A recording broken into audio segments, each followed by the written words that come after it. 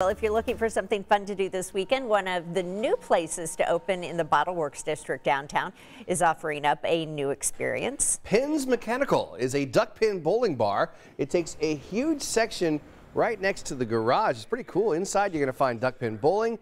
You're going to find bocce ball. You're going to find pinball. You're going to find ping pong. Pins is family friendly, which means kids can come up until about 7 p.m. each night. After that, it turns into a cool 21 and over spot. If you've never heard of duckpin bowling, it's, just, it's like a smaller version of regular bowling.